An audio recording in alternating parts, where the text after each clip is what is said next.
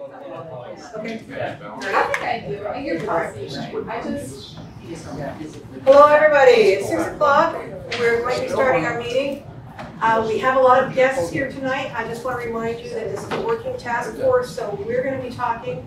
Um, at the end of the meeting, we'll have an opportunity if you want to have uh conversation. But we also are planning to have a boatload of community meetings where we're going to be going out and actively seeking as much community input as we can. So there's going to be plenty of opportunities for you to have feedback.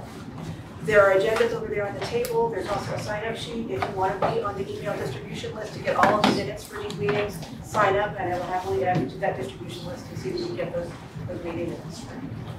Uh, we had a couple of additions to our, our, um, operating rules based on the discussion we had last week about values. I've got it up on the, the wall up there. And I just want to read, whoops, as I get even bigger and bigger. So we, we talked about the need, we're actively engaging the community in making the decisions, we're actively working towards building trust in the community. We want to create clarity, so when we're talking about things, it's crystal clear, these are the problems we're talking about, these are the solutions we're offering, and we want to make sure that whatever we do addresses both camps. And uh, with that, the first thing on the agenda tonight is David Roach. Wherever you want to be. Well, here, I'll sit up here beside you, how about that? I don't wanna be standing, then I feel like a podium in some Hilton hotel. Thank goodness there's not a massive crowd after Carla sending me numerous text messages and everything that the sweat was coming off my arm. This is really bad. I thought it was a nice quiet group. So, some of you know me, some of you don't. Um, David Roach, I have a home inspection company, which also, we do a lot of commercial property inspections. And that's sort of where I ended up coming here this evening because I was talking with Kat about some, some things, we'll sort of get there in a minute. I also am involved in quite a bit of property development, um, a lot of older buildings, we rehabbing like large buildings and everything. I've been in the village for twelve years, um, I must admit, I was on the no vote for the levy side, and I would like to clarify that. I, at no time have been against the schools, I am totally for the schools. And if we could actually find maintenance money and building money, I'm all for going for it. But, you know, limited budget when we were looking at it, and I just felt that it was better to vote no at that stage. So that's where I was coming from. Equally, I'd also like to make a comment because it was brought up to me yesterday that I haven't have an agenda.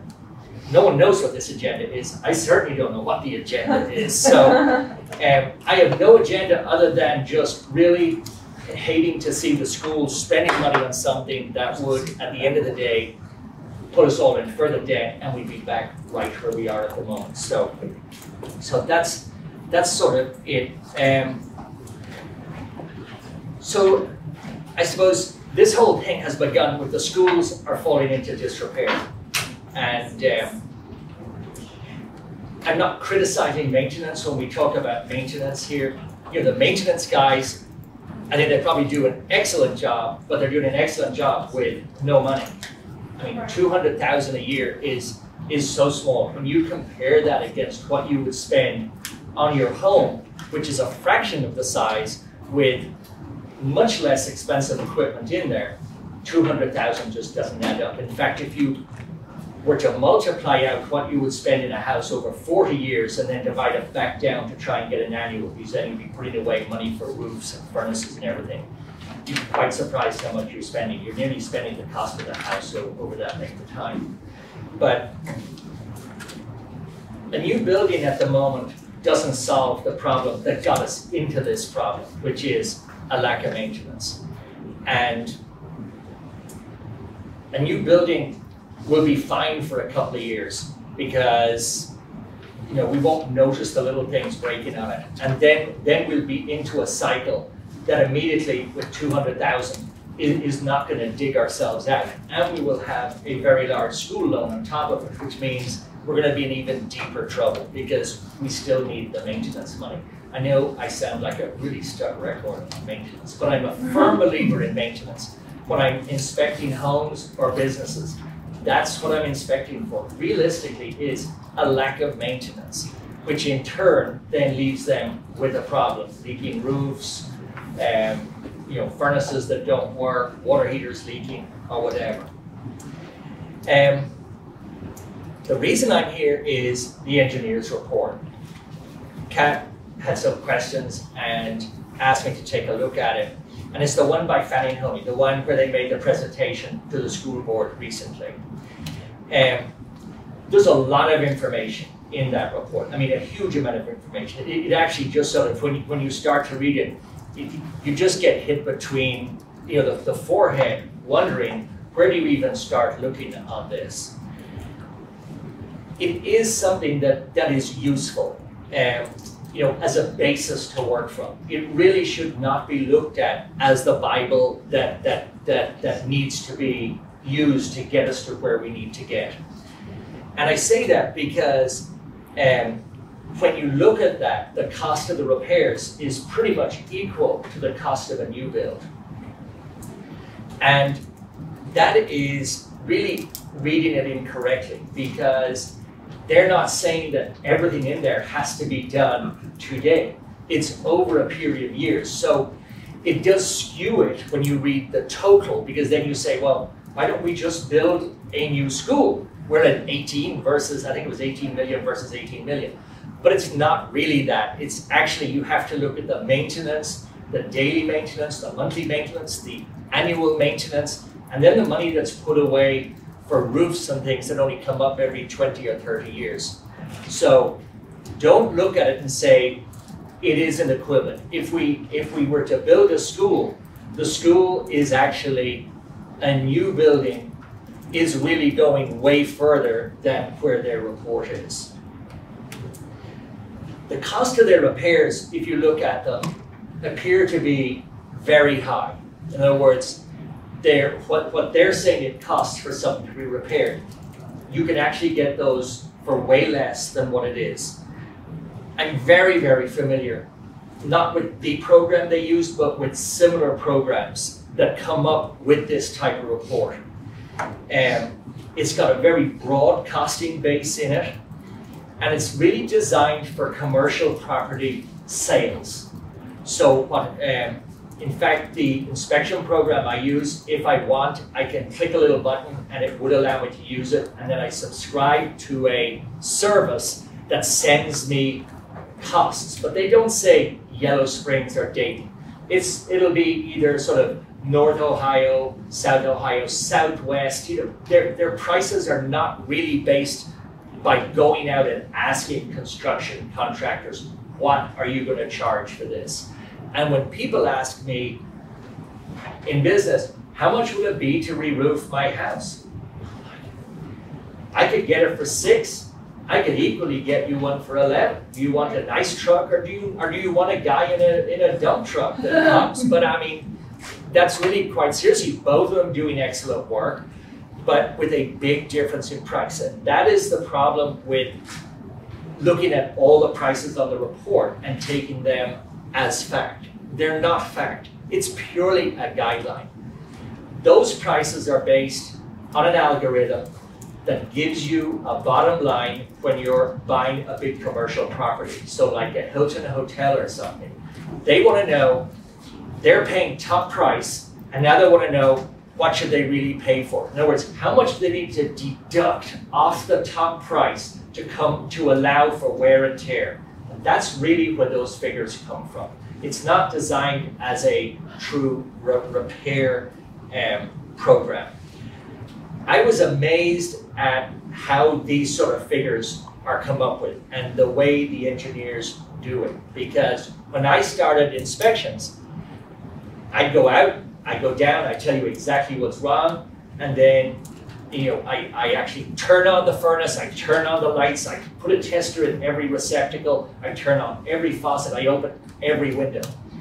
And then I went, I decided I really need to up my ante for commercial inspections. So I looked up, there's a big company out of Canada, uh, Carson Dunlop Weldon. They're engineers. They, they're probably one of the biggest consulting and inspection companies in Canada doing home inspections and commercial inspections.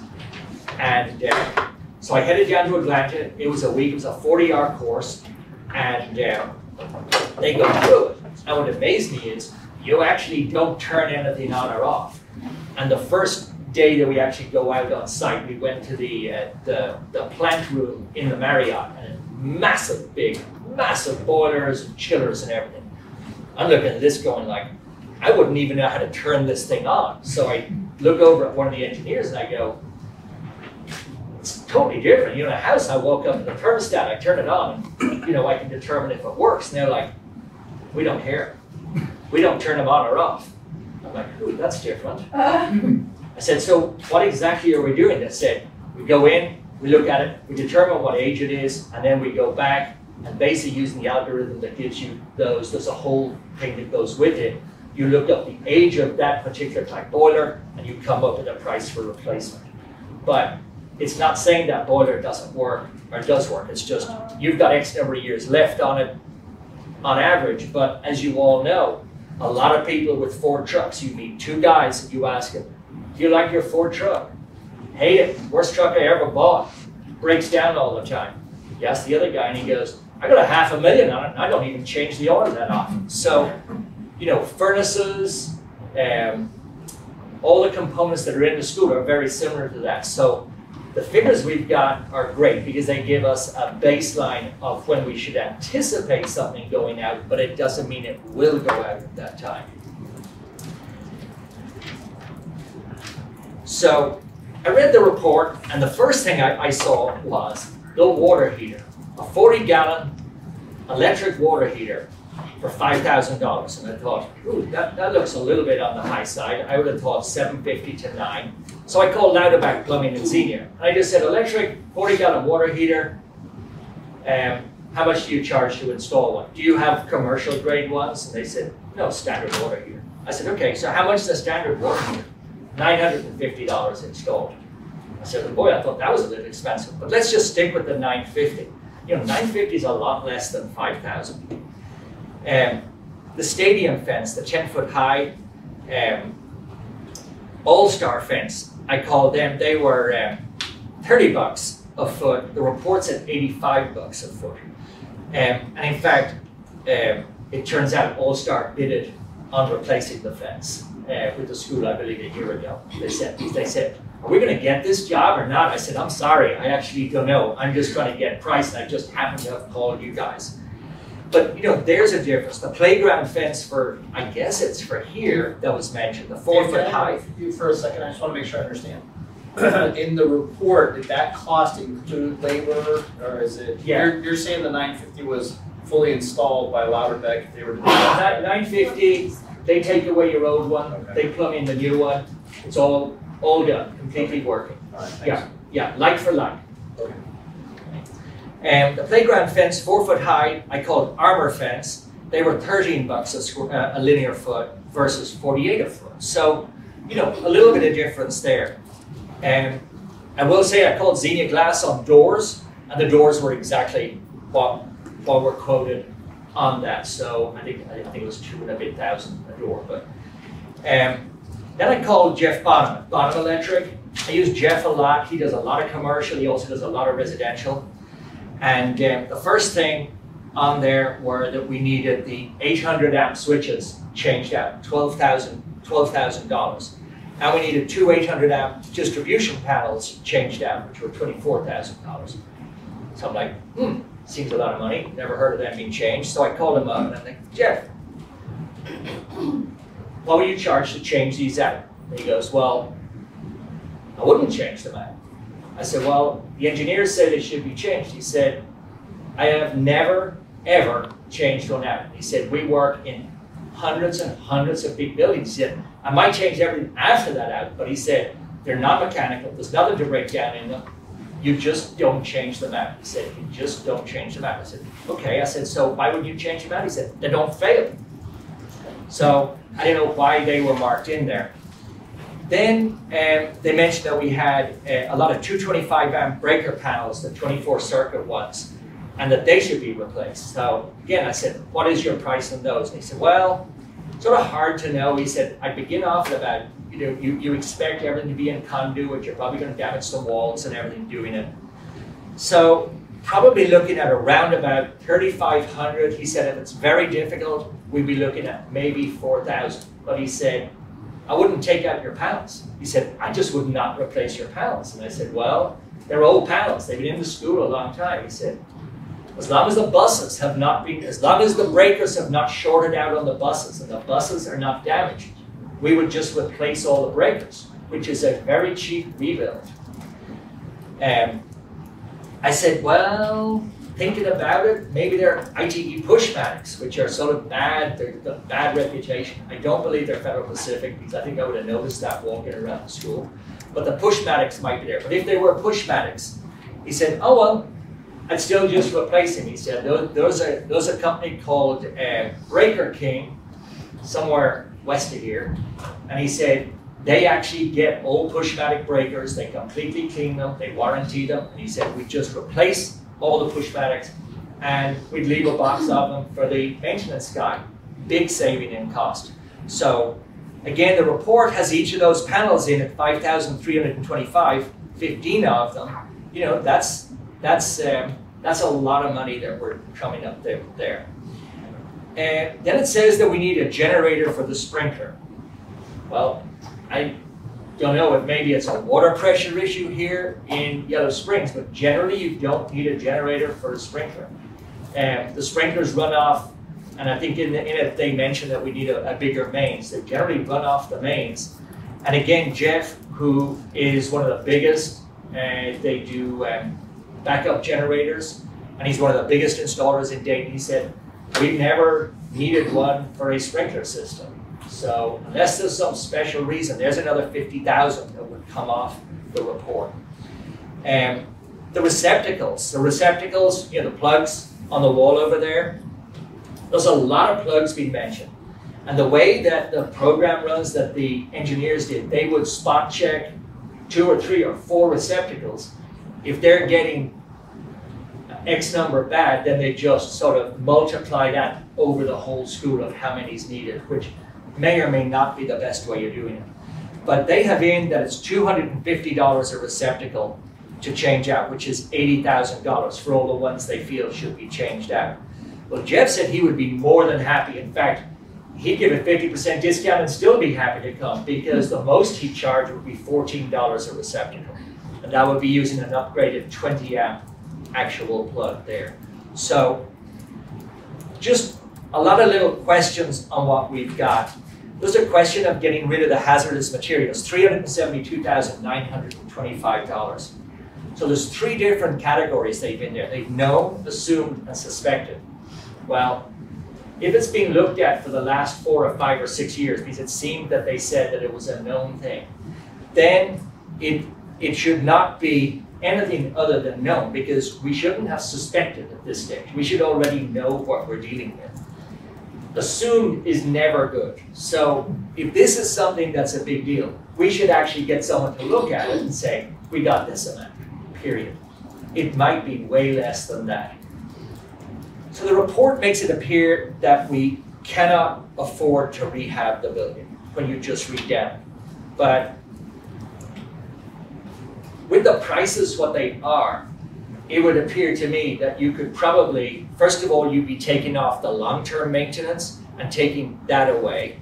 Then you'd be going down to the stuff that needs to be, maybe I think it was category one and category two. And then you would find out what, you know, you would maybe take 30 or 40% off that to start seeing where is a realistic figure for what we need to be spending on the buildings. What we really need to do is, is to focus on these buildings as assets. Forget calling them the school, forget calling them anything else. They're actually assets. They have been paid for. It's something we actually don't have to put money out to get another one of them. So, can we improve it? Can we improve those buildings? Can we actually make them better? Can we make them grow with us? In other words, you know, they'll never be, even a new school will not be what we want in three years' time or five years' time because everything changes. The internet gets faster, the classes get smaller, the way of teaching gets gets revolutionized by, by something else that's suddenly being discovered. So even a new school will still have to grow with us. So why not maybe grow with the old one as we rehab it? As we rehab it, we can rehab it to what is the end thing for that year. So it also is a huge value to a cash-strapped village, which is what we are, whether we like it or not. We are very cash-strapped. We do not have enough large corporations in the village pumping cash in here. Uh, you know, more houses, if you even did the math of, if you put in a multi-unit development where the school is here, and you had 60 or 70,000 houses, the amount of money to the school is still fairly small. It really needs massive revenue flows if you're going to need big, big money, which you would need for a new building. So maintenance and improvements should not be considered a one-day job. It shouldn't even be considered something that we do today to fix it. It should always be ongoing. So the maintenance, everyone needs to start thinking about things in a in a totally different format. Maintenance is not something to fix something that breaks. It's something that's fixing things that's breaking. It's repairing things that are looking dingy. It's it's looking at things that are worn out and saying, let's program this when this summer when, when the school is closed. It's painting it every year. It's an ongoing thing, just like you do with your house, with your car, with your garden. So what we really need to be is at this stage, and this I think is why you've got the committee and you're all here, is you need to be reactive because you've got a problem and you have to react to that. But what you need to do is you need to work towards being proactive. So the reactive is to get working on it and say, okay, this is what we need to fix right now. And then once you get that, then you need to be proactive. You watch those things and don't let them become what they were. In other words, you don't want things to wear out totally before you get rid of them. Fanning Howey did state that the current buildings, when he was standing right there looking, answering some question about building new schools, he did say that the buildings we have are actually better built as far as the amount of concrete block and hard surface in them that is hard to wear out. And I mean, schools and prisons are very similar. They take a lot of abuse, a lot of wear, a lot of people moving through. Yeah. So a well-built place, which we have, is something we can work with.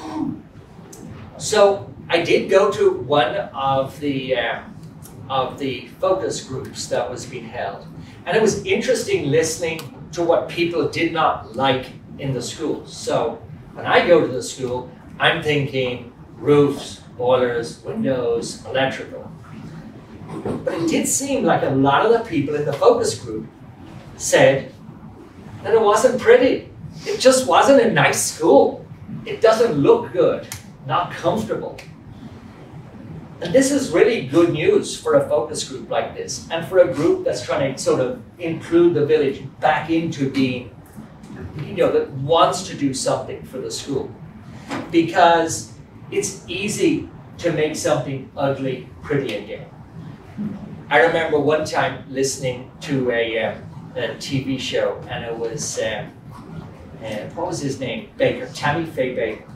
Oh, yes. Tammy Faye Bakker was being interviewed about why her marriage had lasted so long. And she said, because Jim thinks I'm beautiful and he's never seen me without my makeup on. And she would wait for him to go to sleep at night before she took her makeup off.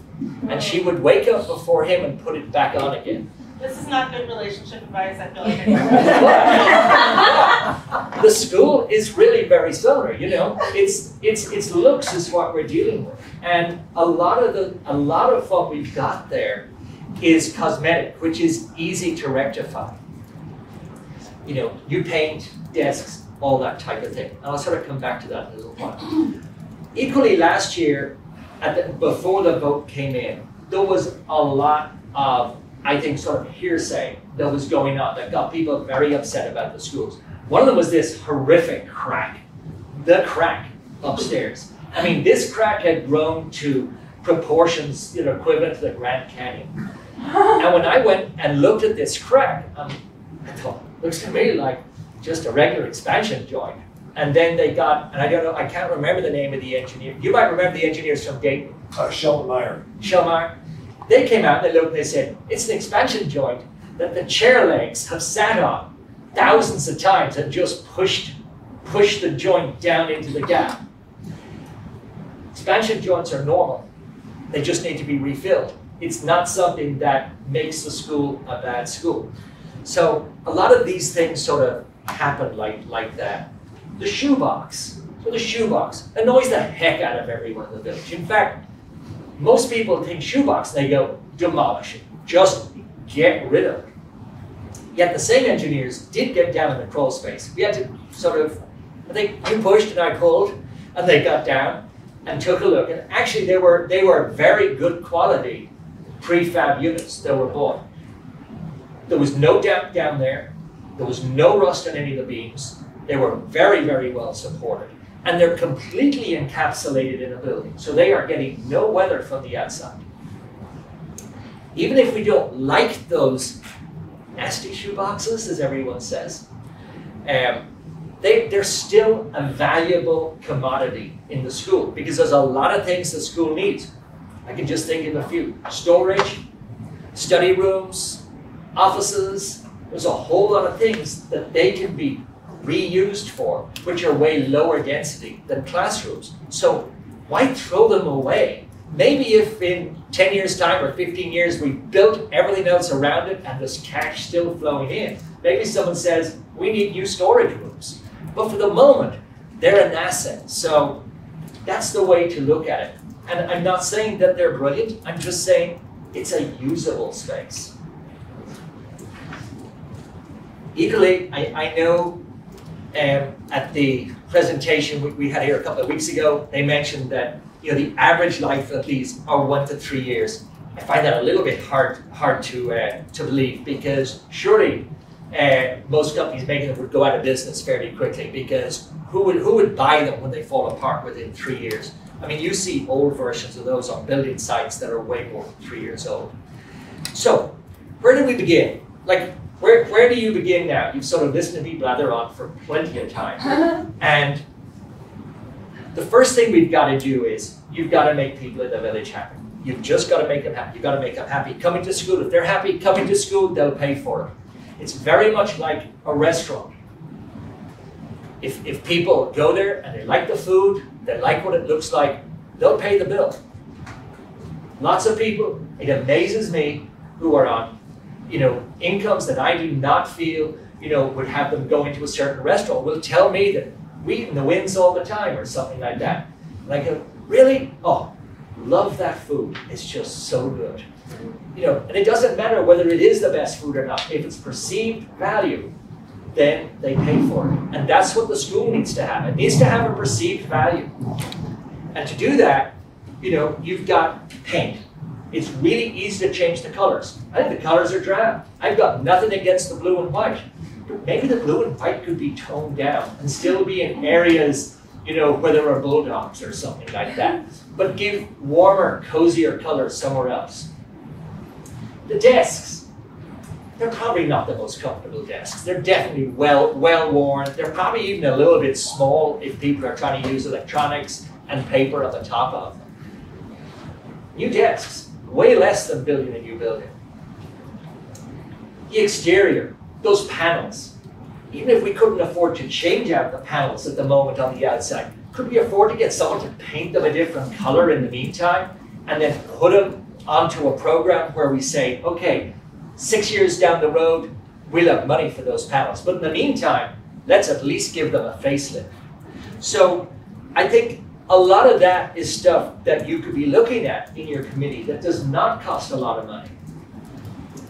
And, you know, work towards, I know um, they were talking about the plumbing backs up all the time in the toilets, you know, massive cost. But has anyone actually put a scope down those drain pipes to find out?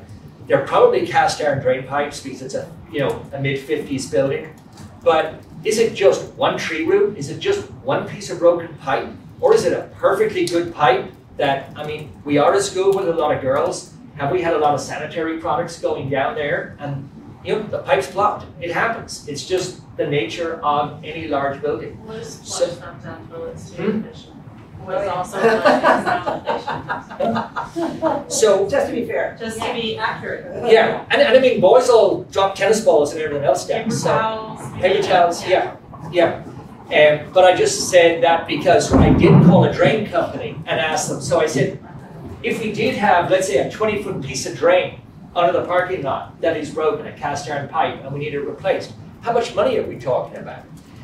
And uh, with asphalt repair, five thousand dollars. I have the name of who that was here in a minute. But, um, you know, there's also other things people want. They want, um, you know, new kitchen. You know, you could be thinking about a new kitchen. You could be thinking about a security vestibule. You could be, which really are not actually that secure. No one's using bulletproof glass. People can probably come in the back doors of the school anyway. So, you know, security vestibule, how much money do you want to spend on it? But they're all things you could be looking at and working towards. They don't have to be in there today. So when you're thinking of maintenance, you need to break it out using again probably those charts. And you're going to have the uh, three year, five year, 10 year, or whatever you decide sort of works for you in your flow chart and your cash income. Um, one of the things that they, they have a lot of lines uh, written into is re- replacing the lighting in the school. That would certainly brighten up all the classrooms, and that would be an instantaneous saving. So that would bring down your utility bills fairly quickly, which would be, which at least would be a payback. So the, you know, so the faster you do it, the more money you're going to make back on. What you need to do is have a nice, welcoming place for those students. Would you ever go back to a to a to a vacation resort or a hotel that isn't nice? No. You're going to tell all your friends don't care. Unfortunately, the kids can't tell the other kids don't go to school. So it's the parents who get the brunt of it if the kids are unhappy. Make them happy. Was, um, I called up uh, Roofing, and uh, they're a large commercial roofer. They do a lot of um, they do a lot of school, churches, hotels. They just finished doing Guyana schools. I think there were 14 buildings. Um, their pricing, uh, his high-end price for redoing our roofs, in other words, stripping completely off and beginning again and then putting on rubber roof on the whole thing, the highest it would come out would be 15 bucks a square foot, which is exactly what the engineers have in that he was very concerned there might be a lot of a lot of pipes, vents, um, lift shafts, and everything. I said honestly, there's not a lot of that. So that 15 would more than likely be less than that, probably somewhere down around about 12. So in a million dollars, that's still a good amount of money off there. He did mention, I was talking with Justin there, and he did mention that what they are doing for a lot of school districts, and they charge for it, he said it would be probably around about a thousand dollars.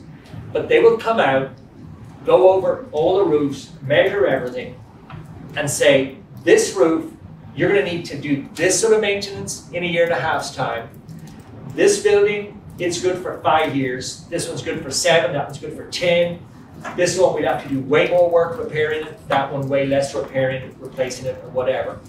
He said, that at least gives you a real figure. It's actually, a contractor is saying, I can do this work for this price, which is better than going with the engineer's figures, because they're figures that you actually have in writing. And the other one you said was based on programs, this one is based on real, real estimates. Yeah, yeah, real estimates. What I think you might want to consider would be to get a project manager. So after you're all finished, that you actually get a project manager. Maybe someone who's retired, they would be part volunteer, part paid. And they would use your list of things. And instead of just saying, let's call in the two electricians we normally get, they would actually write up exactly what you're looking for. And they would go out and they would talk to different companies, try and find who are the best three matches, and then get quotes from them, rather than just throwing darts out to the place everyone normally uses. Maybe even go as far as Columbus or somewhere. But to take a whole new approach as to how you do it. They would not be in charge of maintenance, they'd just be like your procurement agent. And then they would go back to you and say, this is what we've come up with. But that might be a way of getting better prices. You know, they put way more effort into it than the maintenance guy is going to be able to. I mean, the maintenance guy is the maintenance guy. He's there, you know, two guys, two hundred, you know, two hundred thousand dollars. He's got to make them go a long way. So, doing that, you're going to get real figures. You're going to know what you really need to do and what you really don't need to do. Because equally, when that electrician or that roofer or that glazier or that plumber comes, he's going to say, I really don't need to do that. Like for instance, in the report it says replace all the galvanized piping with copper. I don't know why you'd replace it with copper. It's very expensive to put in. It's very slow to put in when you're trying to put it into an old building. Why not run PEX? Unless there's a, a code reason that says you can't run PEX. PEX comes off a big roll, you pull it fast, it doesn't leak, you very few joints. You know, try and save another few bucks wherever you can. And for brickwork in the report, there's 870,000 for brickwork, caulking, flashing. There's not a whole lot wrong with that exterior from what I know. So I called up uh, Marsden's Masonry, spoke with Fred. They're a big company, they do a lot of stuff. They just finished doing um, a church down in Washington Courthouse.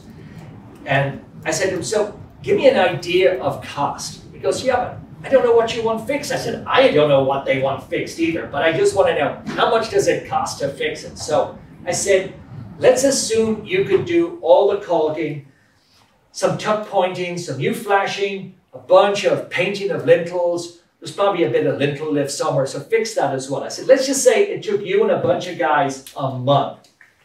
How much would you charge us? He said, well, we just had a whole team working down in Washington Courthouse. We were four weeks there, $32,000.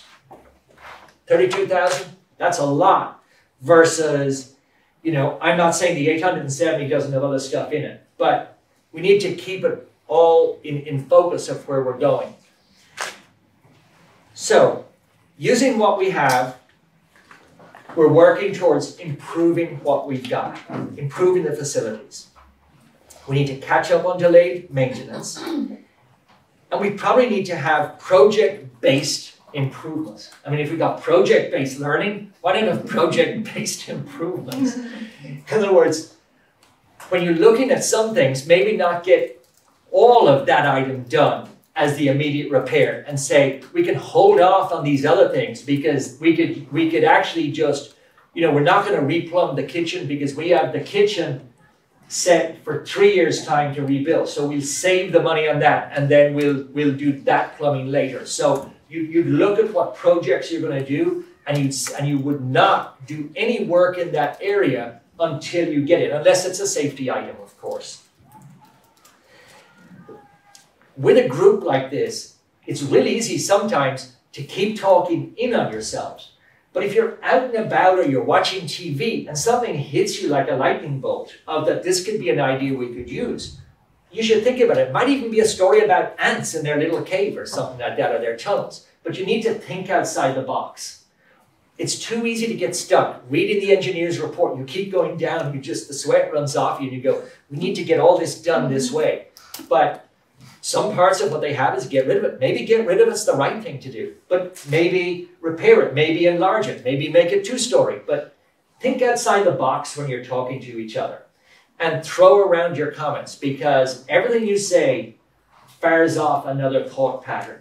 And I don't think anyone designing a building, if you have a bunch of architects, you generally don't have, you know, it's not one guy working on your school building and he works away with his pencil and you keep sharpening and working on it they'll have groups, they'll have, they'll sit around and they'll look at it and go, Mike, that is the worst drawing I've ever seen. My golly, you know, look where your windows are. Look where your doors are. That window's looking straight into the restroom. you know, so you need to throw out your ideas between you and work on them. And, and no idea is a bad idea.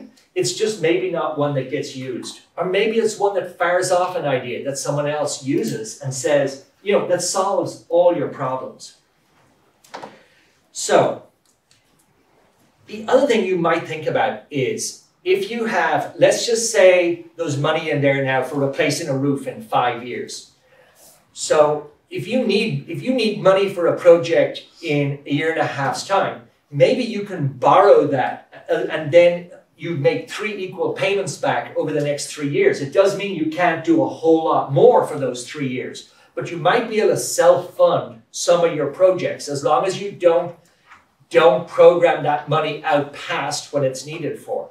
But just something you might be able to talk to the village about, or not the village, but the school board about. Um, do small remodels rather than borrowing. You know, no loans that you make. If you do have to borrow money, try and keep your loans down to like a five-year loan because otherwise you've forgotten why you ever borrowed it. No one in the village can nearly tell you why we have a school loan. You have to explain it to them. You know, it's gone. They don't even care anymore. They just know the school isn't, is, isn't a happy place anymore. It's not all cozy and lovely colors. So try and keep loans short. And, um, you know, and then we talked about the shoebox and everything. The music room, for instance. You know, we've got a new music room come in there. I, uh, when Mario was, there was a couple of different people doing tours, and I just happened to be along with Mario. And when we went into the music room, the music professor was saying it is the best music room that he knows in the whole state of Ohio. The best sound, and he said he is the only music teacher he knows who does not have tinnitus. So, there's a music room we should be keeping or working on. Now, it may not be the prettiest outside, but you know, that's easy to fix. I know he's got a storage issue, but a storage room would be way less expensive to build than a whole new music room. So, so there. So that was there. Okay. So when you're looking at your maintenance, you should really start trying to categorize, going through the things that the engineers have come up with, and then maybe things that will just come to mind yourselves. So you day-to-day maintenance, that'll be your thing. That's where someone goes to use the bathroom and the doorknob's missing. Day-to-day maintenance. You need to go back and get it. You know, one of the push bars on one of the doors isn't working. You know, emergency lights are not coming on. Stuff that just happens just because. Those are day-to-day. Then you're going to have sort of annual maintenance. That will be like your repainting during the summer vacation. You're going to have, um, I don't know, there'll be just just those sort of things that that that happen. You want to break out things from their from their list into that. Then you're going to have long-term maintenance, which will be like your roof, HVAC, parking lot. So you'll be able to start then saying, okay, we only need this amount of money for here, this amount, because if you're getting, let's say, a million dollars in every year, you can't afford to spend all that million this year. You have to put money aside for those things that are going to happen in, in 10 or 15 or 20 years because if in 10 years' time you're going to have to spend a million on a roof, then you have to put a 100,000 aside every year for that roof because if it was a million today, remember there's going to be inflation. So hopefully the interest maybe pays off some of that inflation. Then you're going to have planned projects. So you're going to have things like planned, it might be um, to build on a new classroom, it might be new bathrooms, you could have the kitchen, these type of things are planned projects. So then you have to decide which one are you going to do first because you can only do so many out of the cash you're bringing in. Then you would also have mandated upgrades. You're going to need money for that. So you need to start thinking of that. So if there's an ADA regulation the state says you have to have different fire signs or something in a school, I know one or two places in the engineer's report, they say bring up to code. And I've got a big issue with them using that word code there because that gets everyone excited. So first of all, code is the minimum standard for habitability. And I love when a builder says it's built to code. That's just great. Because if it wasn't, even the dog couldn't live in here. It's the minimum standard. You cannot get an occupancy permit if you build it less than code. But you can go better than code anytime you want. Code applies the day that it's being built. So something that, and as soon as something is built, the code book's already changing. In fact, by that time you've already moved in, the code book has generally long changed. So your building is technically not to code anymore. So like the handrails and things on the stairs, they're, they are not to today's code. We've no idea what they were when it was built, but we assume they were to the code at the time it was built. So that should be brought up as a safety item, not a code item. Just, it's semantics, but it's just it is a different, it is a different category. So if everything had been juggled and looked after and maintained the way we're talking, where you would have all these classifications of what you're doing for your maintenance, we wouldn't have this problem. We could all go down to the brewery and just drink a beer or something because the school would be in fantastic shape. The, the problem we've got didn't happen in a day. It didn't develop in a day. It's taken 20 or 30 years of, won't say mismanagement, but a lack of foresight and a lack of just general knowledge of what they were dealing with. And now you've got a group of people who are all fired up and getting into it. So you're actually going to save the school at the end of the day. But you can't cure it all overnight. So you needn't feel overwhelmed when you say, we can't do this this year. We're going to have to wait two years or three years. Even if we built a new school, look at the fire station. It's already, I think, year two, and they haven't even got a builder yet. So, you know, it might even take five years to get a new school. In five years, we could be well ahead of where we are with today's school. So you're going to have, you know, real tidy up stuff is what you're going to aim for for the, for the next two years. And by the time four to five years comes, I think if you get a decent amount of money coming in, you're going to see a huge change in the school because you'll be nibbling away at it. It's like doing a little bit of work in your yard every day. The flower bed doesn't look good the first day, doesn't look good the second day. But a week or two later, your neighbor says, wow, that's looking really nice. And then you realize you're making progress, little steps. The other thing you need to look at is, and this is something to keep in your mind all the time, is it's not what you want in the school, it's what you need in the school. And there's a big difference between need and want. We all want a really nice car, lots more horsepower, more comfortable seats. But what do we need? We just need something to get us from A to B. So if we don't have the money for the Ferrari, we shouldn't be buying one. We should be looking at maintaining the Ford Escort and going along happily. An interesting thing to just um, look at is probably the two wealthiest school districts in our area are Oakwood and uh, Centerville. And neither Oakwood or Centerville are building any new schools. And Oakwood has just done a whole bunch of um, updating.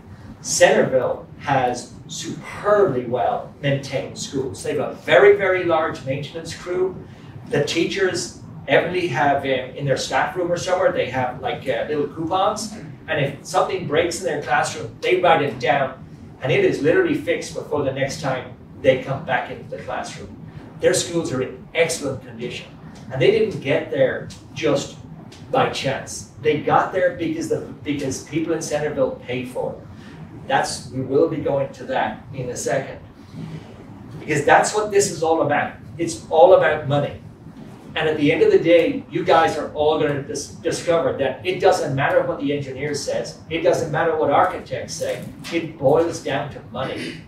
And that's where I think the sell gets a whole lot harder. How much is really needed? I don't know. I'm not I'm not a guy who puts money on things.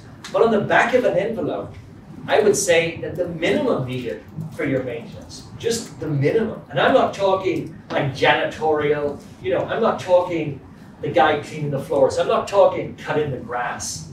I'm talking real maintenance. The minimum is probably somewhere around a million a year. If we were in a really wealthy area, I'd be probably throwing a dart for something way higher than that.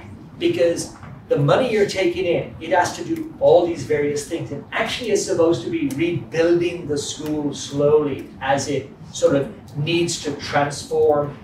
And then maybe like that theater you have planned there, maybe it takes a while, but there should be money coming in to do that. That should be a goal in what's being collected annually. And that'll be part of what you guys are all working at. It needs a lot of money to run a school.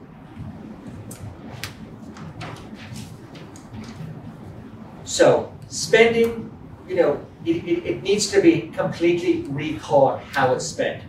I know that about a year and a half ago, um, Mario mentioned that they needed air conditioning here in Mills Lawn.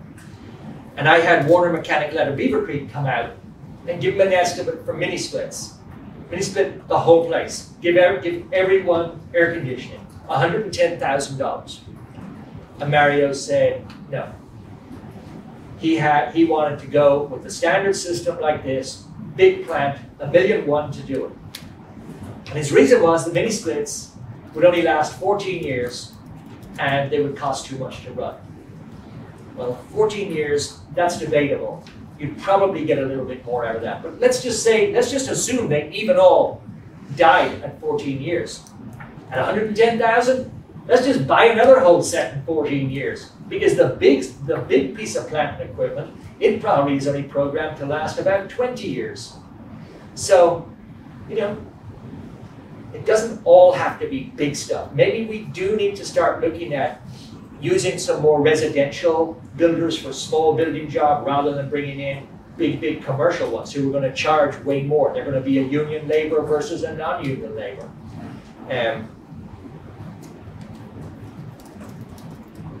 so with all the talk of affordability in the village, residents sort of forget that the schools bring a huge value to homes. And I don't know, you know, if this is something you can sell, but it is something to keep in the back of your mind that having a really good school district brings people into the village and it ups the value of, of homes, which does not help the affordable, affordable argument.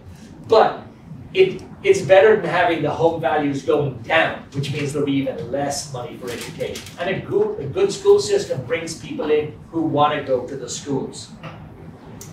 So when you look at where, I mean, it's quite funny. In Oakwood, when the when the eldest, when when people who want to who want to move homes in Oakwood, probably 50% of the houses in Oakwood do not go on the market when they sell. Someone who has a kid in first grade wants a bigger house. They look at what kids, what families have their last kid in school. They go around knocking on the doors. It's like, are you leaving at the end of the year? They're like, yeah, we are. Our, our kid's getting out of school. We'll be moving. That's why we're in Oakwood. And, you know, that is something to keep in the back of your mind. The better the schools are, the more money that the schools will actually get from property tax. So, you know, your choices here are limited. It's new build or rehab. The maintenance figure needs to be dramatically increased. I mean, just dramatically increased. If the maintenance figure cannot be increased, then you really just just need to close down. I mean, there would be possibly dropping being an exempted school district would bring in some more money. I don't think it would probably bring in nearly enough. And then the, the other suggestion would be that you actually just close down the schools completely and you bus everyone to another school district. But I don't think anyone actually wants that. But this is really a money issue. You, you cannot have your cake and eat it. The village, not you guys, the village cannot have its cake and eat it. So it's, it's, you're in a really, really rough bind because you need a lot of money to do what you need to do. That sort of runs me out, and I don't know if I've used up all my time or I've been over my time, but. um, so, you know, um, but I am really grateful. I appreciate you all inviting me here. I, I hope I've given you some little bit of something to sort of jog your minds or maybe get you going. It's a monstrous undertaking that you've been tasked with. And You're figuring it out. yeah, and, and, and I think you, you really need to break it down into, you know, groups of maintenance and then just focus on each one as smaller groups and not be awed by how large an undertaking it is. Um, you know, you're working with an inherited issue, which, you know, is going to be a very hard pill for the village to swallow when you eventually, you know, come out with whatever it is. But if you if you don't solve this, it can only get worse. It it, it won't get better on its own. And, uh, so that's I think I've run out of better Thank you, David. Does anybody have questions for David? Um, I do have a question. Um, first of all, I appreciate your passion and your civic-mindedness and being engaged in this process and helping us see things from a perspective. Um, when you talk about a million dollars should be budgeted for maintenance, do you mean to compare that to the two hundred thousand that we currently spend annually on maintenance? Yeah. So we should okay, increase it to that extent. And, and I mean, really, really what you, what, what you really need, what it really needs to do is become a huge piece of math. And you need to figure out, you know, what are the roof, what's the cost of the roof, you know, and, and, and take the minimum lengths of time, which would be, let's say, let's say twenty years. In fact, some school roofs only do fifteen. A rubber roof with a bit of patching, you'll probably keep it going to twenty as well. But, you know, sort of take different things and then, and then you have to start collecting, then, so if it's, you know, if it's a million for the roof, then you need a hundred thousand every year, or what do you need five hundred thousand, or, yeah, five hundred thousand. Fifty thousand every year. I'm getting all those zeros. But you need fifty thousand every year just for the roofs, that just goes away into a, into a savings account. And you have to do the same thing with, with all your big plant and equipment. And then you should be doing the same thing for all the desks, the same thing for, you know, maybe, maybe for projectors and everything, you should be putting, that might be only twenty or thirty bucks every, every month or something. You know, equally, I'm thinking out of the box, there's a lot of money in there for wiring for internet and everything, but wiring for internet? Who wires for internet anymore? You know, why is it not just just do wireless? Save save all the wiring price. Um, you know, wiring is obsolete. uh, Probably just about as quick as you put it in, and the wireless will be obsolete as well. It's like like your your iPhone. You buy a new iPhone and you're happy with it for a month, and then they tell you uh, that they got the new model coming in. You need the bigger one, but the old one will still do the job as long as you maintain it. You might have to put new batteries in it, a new screen on it, buy a new case. That's exactly the same as, as here. So there are standard ways of roofing things, you talk about roofing maintenance tasks, is there a standard for that? Um, or do we come up with? You're gonna have to sort of look and look and, and, and really break that all down and, and try and put put cash figures on everything. And you could use you could use their their figures roughly um, and then try and get some estimates for some of them. You know, just like I did, just on, on ballpark estimates. And then even use those to start doing the math. It would at least it would at least start you working in a way. And then if there's a building project, well, there you've got an architect and he can give you ideas of what it would cost to do that or this remodel or that remodel, and you'd say, okay, well, wow, at that amount, I don't think we can do that for five years. So in five years, we need to collect this amount of money each year. We, if we have four of those projects, then you know, it'll be 20 years before we get them all finished. But hey, let's start working on them and knock them out one by one. And if everyone knows they're going to get this in the village, then at least they know that there's something happening. They actually, you know, they can they, they can feel happy with what they're they're paying into. Other questions? Thanks. I have a question. Nice shirt, Chad. Thanks, David. You- You gave us confirmation of some of the things we talked about, and you gave us some new ideas of ways to approach this, which are fabulous, right? Because you're right, this is, this is a huger task than any of us thought when we started. Yeah, yeah. And, and I think, you know, while, while maybe all the figures and everything are, are not good to use as a final figure in the engineer's report, I think you can really use that chopped up. I mean, you know, maybe someone can actually just take big boards and print those out and chop them up, you know, and you can, you can stick them on, you know, different grouping boards and actually start sort of breaking them I've out of that, yeah. into something you can use there. And then you cut, cut and paste as the Excel spreadsheets, yeah. Yeah, yeah. And the problem is, is that when we're talking this amount of money, that's only covering the school up there. You got another one down here, I mean, that needs to be addressed. we had estimates for both schools, Yeah, so, so we do have that developed yeah, estimates. yeah, but like, like, you know, when I'm talking, you you probably realistically need a million, you, you probably need another Because figure what you're talking, the million is what you're talking about. Yeah, and, you know, I mean, schools are expensive. And it, and if they had been, you know, if more money had been put in over the last twenty years, you wouldn't be, you wouldn't be looking for even a fraction of this, unless you wanted to go ahead and just build a new stadium or a new concert hall or something else that would be an add-on to it. But, you know, at the moment, you're playing catch-up. It is a big game of catch-up. You know, Can I have your notes or can I have a copy of your notes? You're all done? you can have them. The question is, will you be able to read them? If you- First, I- uh, He, he has got really gorgeous handwriting. Oh, handwriting. yeah. Actually, that's not my handwriting, that's my being really careful when I'm writing, writing. Absolutely wonderful. So I'll give you those, I'll actually give you that, they, they were notes, Summary and, and, and this was actually with the, the other engineers last year walking through the school, just sort of notes that I jotted down uh, afterwards, but yeah. Thank you. Yeah, Thank you very much. Yeah. All right, if people wanted to take off, now they've heard what David had to say, you're welcome to take off. If you want to stick around for the whole meeting, you're welcome to do that as well. No, no, no, no, no. Maybe I'll let you all discuss it in private then. Yeah, Yeah, this is great. Thank you. thank you very much. Thank Thank Thank you. Yeah, yeah really.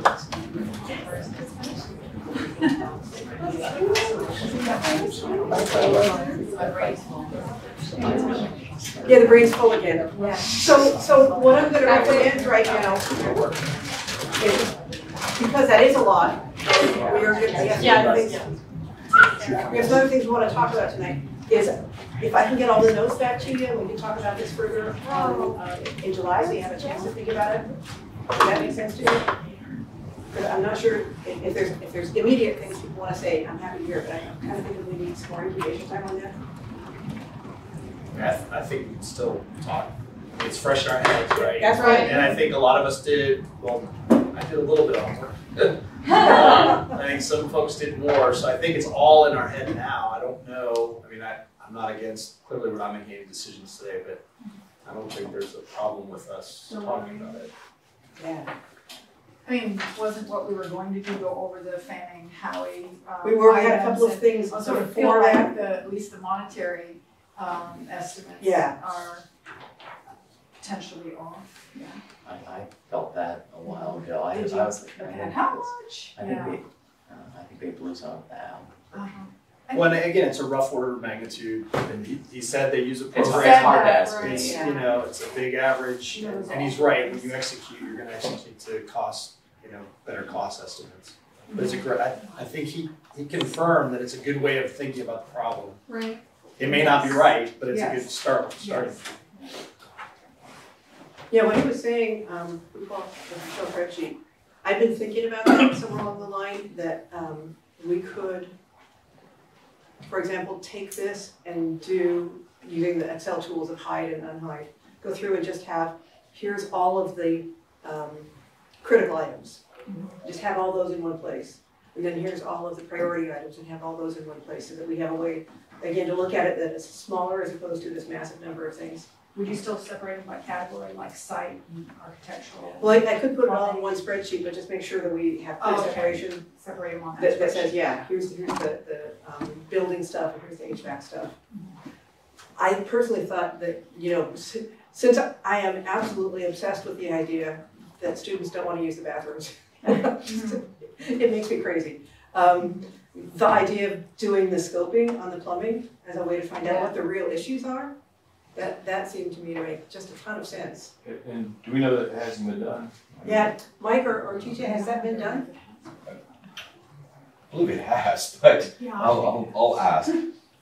Um, It's a mystery, is that, they Uh, scoped and they couldn't figure it out, or? I don't know. Uh, I mean, I know they've had issues and they've, you know, worked with trying to figure out what the problem was, so I would assume that would be part of it, but I don't know. If I could just say, inviting, uh, wanting to invite David here, um, talking with him last year when the levy was trying to be passed, and we talked through this, and it's clear he has a lot of experience. So I was thinking as I was reading through this, I know not what I'm looking at, right? I don't have any basis to gauge whether this is real and what to question and how to question it. Right. And so Chad and I met with David last week and we're talking about it, and my jaw was on the table the whole time. Right. We have, I mean, I, I don't want to insult anybody here, but collectively or individually, we don't have the capacity We to don't have the You understand didn't this, insult me right? at all, Ken. Yeah, so what? I said, you do not insult me at all. As he was talking, the first thing I wrote down, and I just showed to you, Desiree, was project manager, and I looked over at you, TJ, I don't know if we were kind of the same thing, but you know, something awesome, and undertaking like that.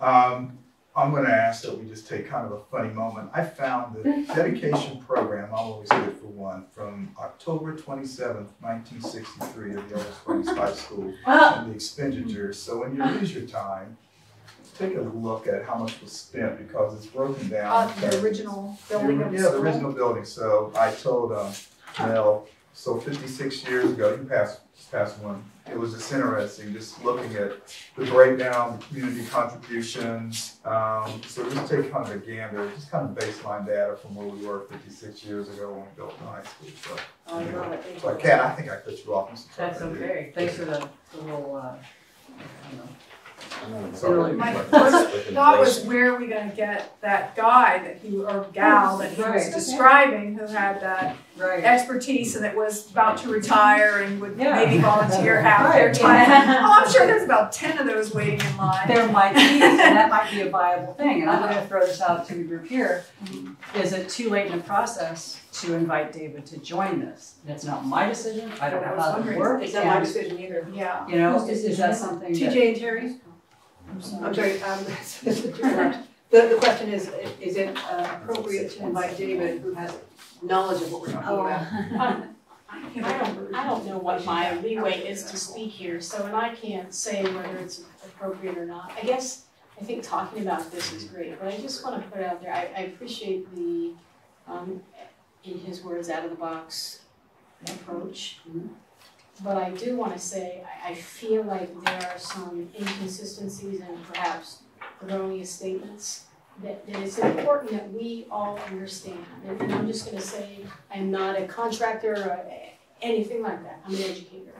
But I do know a little bit about this because I've been through this process mm-hmm. before. And so, one example of the technology infrastructure and why would we need to run wires? Well, things don't happen by accident. So we can all sit in here and log on wirelessly and it's as if a miracle occurs. But that device right there is connected to some pretty sophisticated cables that have to run all over. So it is not free. So I, I understand his thinking in that we need to think outside of the box, but I also think it's important that we that we really deal with accurate, factual pieces. I appreciate the time you took to call folks and to get other prices, but I also know, again, having being in the middle of it, there are certain requirements that schools must meet, period. It's not what you or I need to meet as a homeowner, it might not even be what a business needs to meet. So I think all of those things provide some different levels of context when you look at pricing. I don't know if Fanning Howey's pricing is high or low. I just know that schools, unfortunately for us, because we have to pay for it, are, are held often to, to different standards.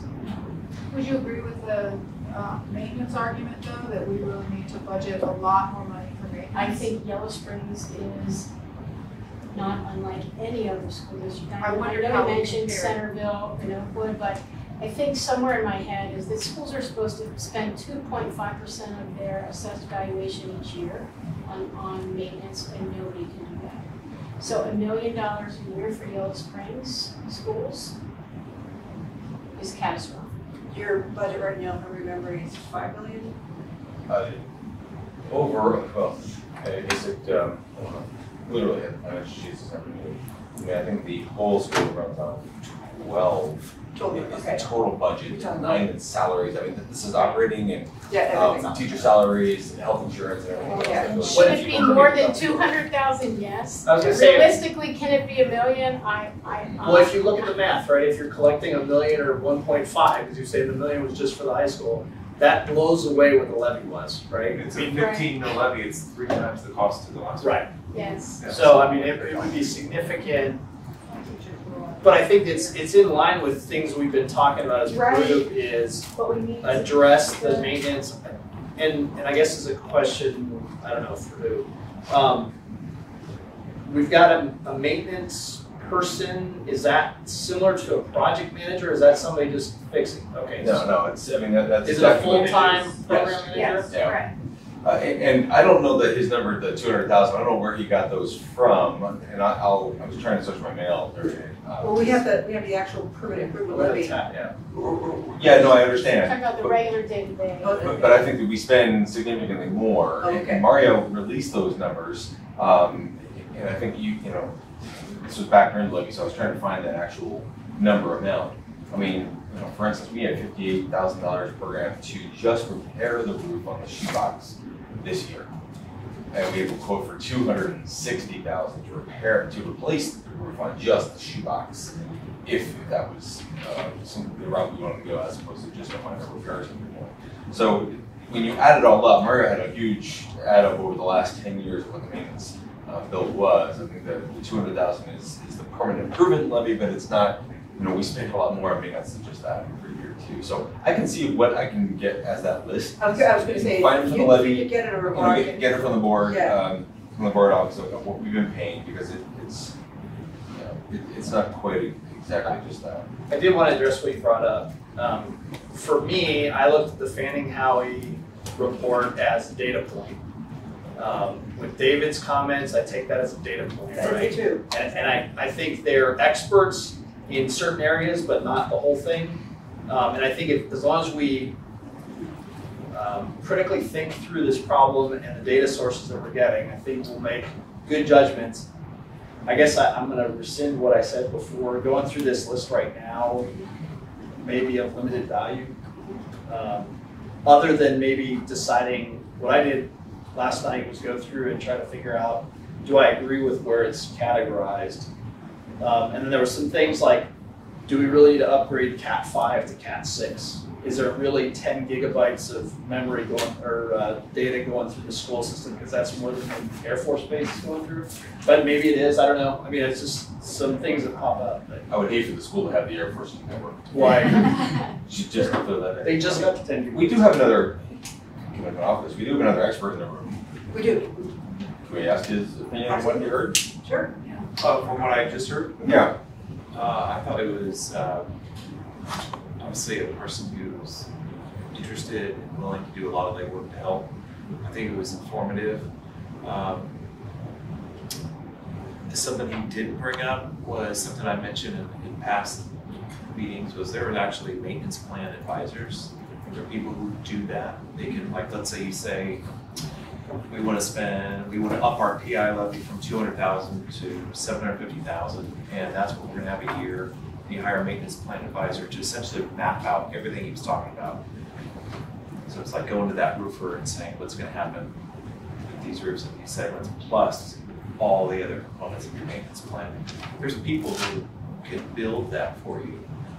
Um, I think you might have mentioned that. Yeah, yeah, he did mention it, and I didn't feel like it was right to ask him what he thought about that, but He, he, he expressed that in one of his letters to the editor, Yeah. that we needed to, uh, his words were, um, uh, find a maintenance consultant. Yeah. Figures are approximate and should be further evaluated by a maintenance consultant. And that, that person might be different than the, the individual we saw out the project manager, so the project Working on the day-to-day stuff. Yeah, they can execute the plan and get all the prices and pull it together, so I thought that was, um, that was right on. Um, I don't know about the, some of the value judgments about like, what do you say, it's like, it's some, it's really easy to make something ugly look good. I was writing some of this down. Um, it was, he just had a really interesting perspective on things, so. If I could go back to the perspective, like what, what you brought up about there are aspects to this that we need to take into consideration that we don't know about.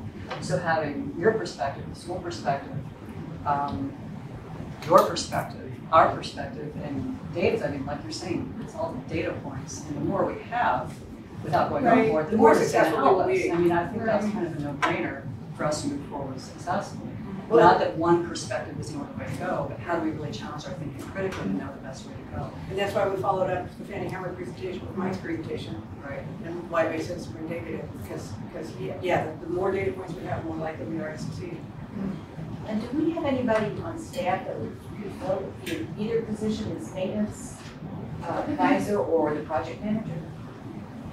Well, that's what I'm saying is, is I think that we kind of fill it now, and, and, you know, we keep saying that that's not happening, but uh, nobody, I don't think is really expecting Craig That's, is exactly the role he That's what I was fills, thinking, yeah. yeah, so why Um, would we create, I mean, It- and that's what I they know. build visibility intimately. Oh, the retired, but there's also um, Fred Craig Conrad. Crown, that's Conrad, idea to talk about. He's the retiree that we might be able to bring on, although I don't know, I think he's Yeah. kind of done. Yeah. Yeah. So, so Yeah, Craig Carter, the current maintenance guy, he actually, in the same capacity as Craig Conrad, he was the maintenance guys. They serve a dual role. They're maintaining actually three buildings, but then they're also the person we turn to to say, hey, can you secure an estimate on roofing?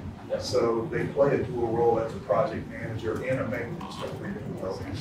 And Craig Carter, because I was in a meeting with Craig Carter on Monday, we had to call Craig Conrad to understand some water lines out to the stadium. So Craig Conrad still serves as an ex officio consultant. So, should just said that, uh, this gentleman would go and secure bids, what triggers that? Is he, I guess my concern is, um, we've heard multiple people have said, hey, you're not spending enough on maintenance. We've, we've, uh, I mean, that was, was a Golding, who the folks that came, this report's from, uh, what's her name, Gold Fanning, uh, folks, um, asked you the same, I mean, what, what I'm getting at is, is there, who's out in front of it? Like, not Is there a maintenance reacting? board or is? What is And it? is, is this really his task? I mean, is this, is this one guy that is gonna, hey, our, our front door isn't working, it's not coming shut, we got a security issue, can you come? There should be somebody we can call and have that fixed within a couple hours. And is he the same guy that's looking out front going, hey, our roof, we need, but I need to talk to the board or through the chain of command and say, hey, we're gonna need a roof in, uh, five years or whatever. I mean, is that the same guy that's looking that far ahead and is tasked with that? And is he, is that fair to this? I mean, Well, what's the Your guidance that he task? has, right? Is, does Right, the I school mean- board make decisions on each year what projects are working? It's- The superintendent brings them up to, to the school board. Okay, you know, and starts planning out, and works with the treasurer to map out, you know, th- these are the things we need to get taken care of this year. You know, for instance, we needed a bus last year. So the bus is gonna come out of the PI levy or, you know, uh, wh- what doesn't get done maintenance wise, what does get done maintenance wise. Um, and, and looks out in those five-year forecasts. So I mean, we've got in that five-year forecast an expenditure line and these big costs are built into that. Do you, do you have, um, you've got the history of the maintenance projects that are done. Do you also have a five-year plan going forward? We do, yeah, at least for the larger expenses. Okay, is it, Like in the well? yeah. Okay. I can, find out exactly what we've got programmed in. Like I said, we've got like fifty-eight K set aside for roof right now. I think it's two sixty, if we wanted to replace one just with the shoebox. Uh, we've been more looked at what has to be done with Mills Lawn roof. You know, so we try to, try to sock that money away, just like you were saying, is exactly what we're doing. Because I, I think that's another one of the data points we need, is seeing what you have done in the past, but also what's planned in the future, because if you've already got something planned, we, we might not need to put it on our list also. One of the letters to the editor in the pro side for the levy was by Craig Conrad and Craig Carter. And one of the statements they said is the district has a very comprehensive maintenance plan. Um, And they're taking responsibility for it, so there is a maintenance plan.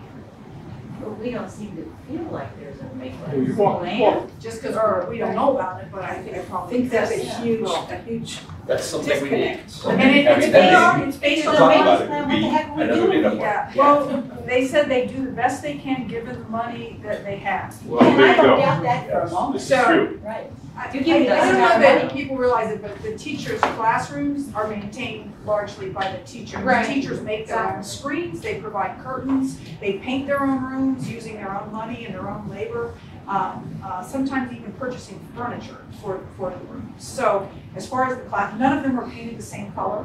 So this blue and white he's talking about, there's no classroom that's right, blue and there's white. They're purple, they're green, they're every different color. Uh, so that's the, like, the low priority maintenance is what happens in, actual classrooms. Unless your roof is leaking, then they'll fix Right. that right away, no big things like that.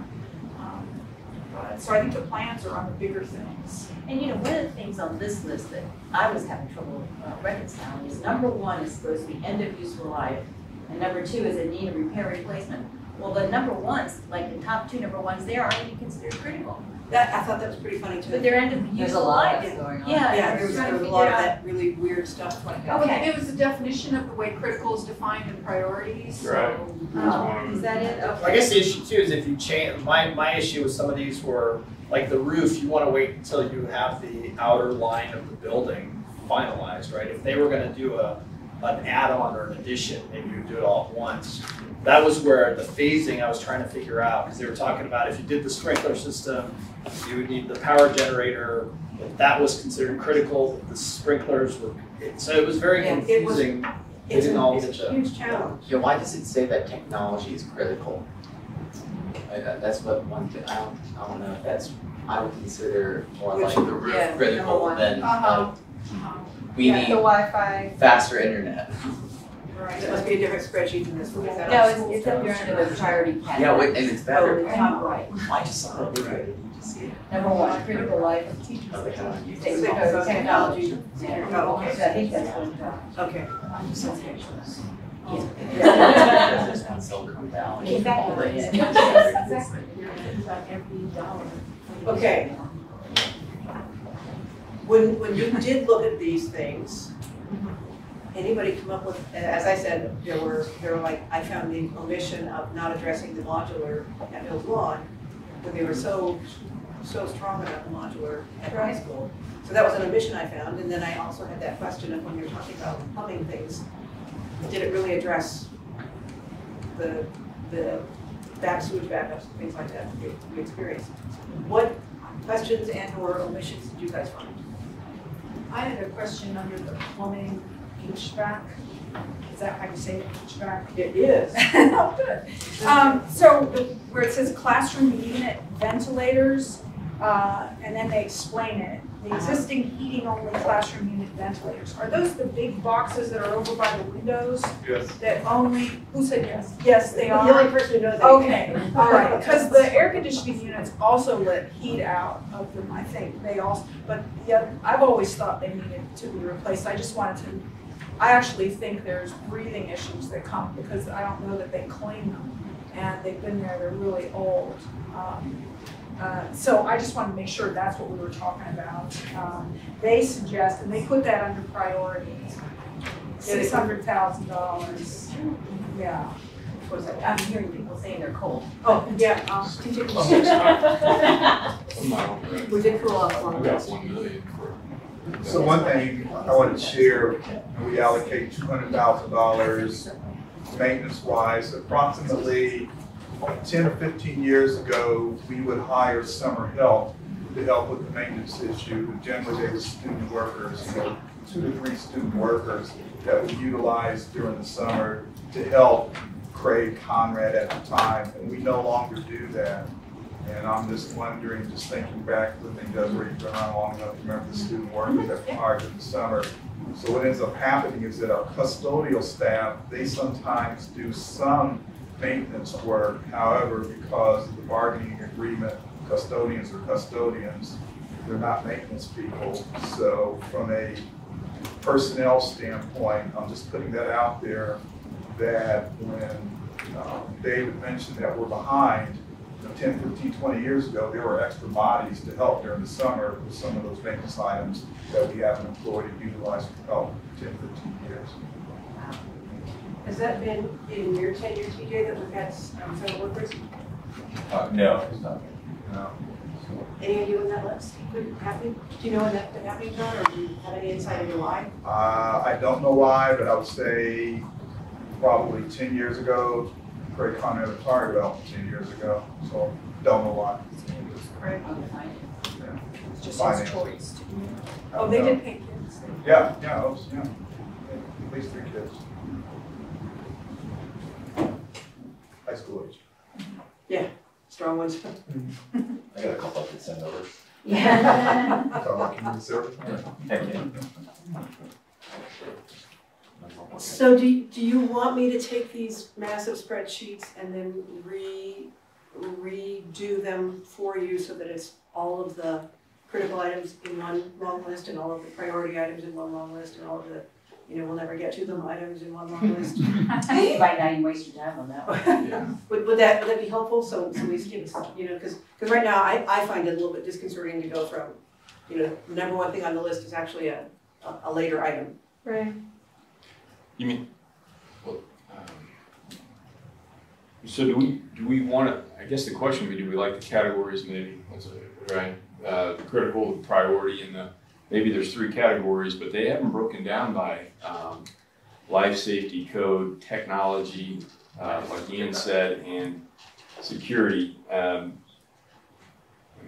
And we might not, we- we, what we had talked about in, in our, our um, guiding principles was safety was definitely important and security was definitely important. Yeah. But I don't think we prioritize technology as number, uh, number one.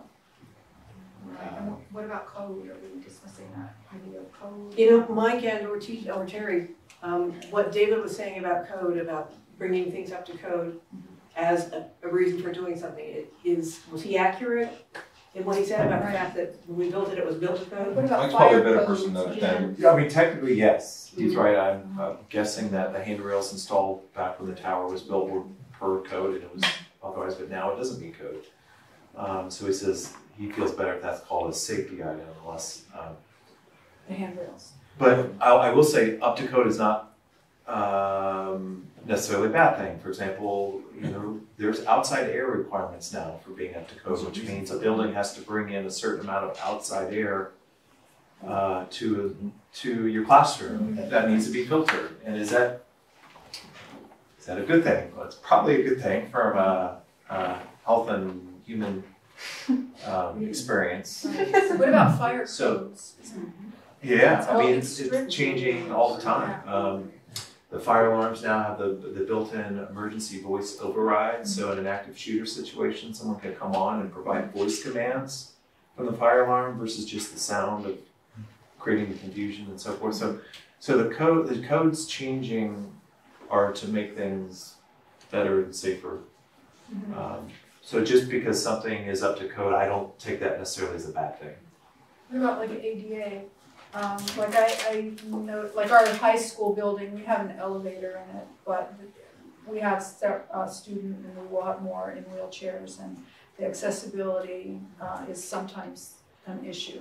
Yeah. Um, for various things, and isn't that a law that requires things to be accessible? you have to, there is a law that's, uh, there should be equal access and someone could sue for compliance. Mhm. Um, so I think you've got a case where you don't, you have the music room that's down set of stairs with no Right. ramp. Right. Theoretically, you would have to provide a, an accessible route to that music room to meet, to meet that.